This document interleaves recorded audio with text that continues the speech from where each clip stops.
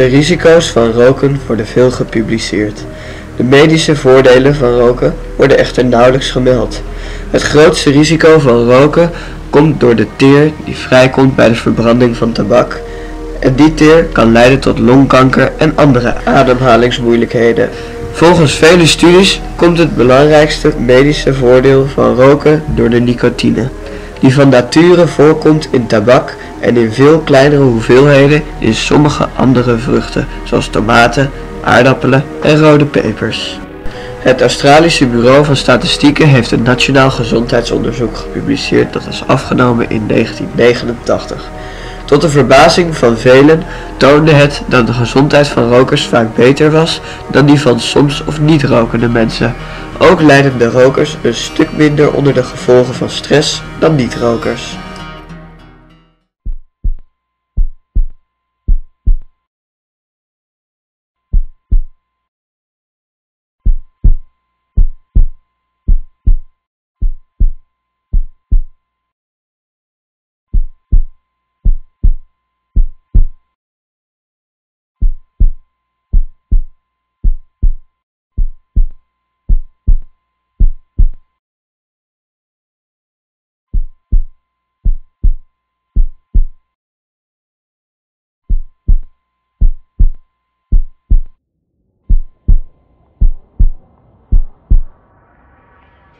Natuurlijk zijn er ook de nadelen van roken.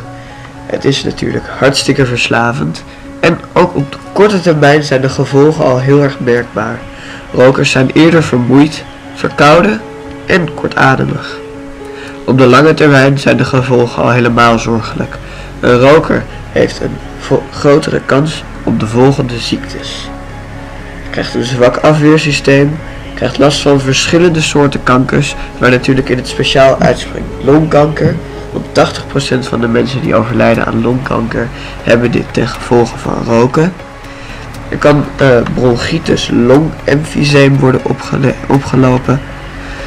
Er wordt een slechte kwaliteit zaad geleverd. Je krijgt een vroegtijdige veroudering van de huid en een verhoogde kans op botontkalking.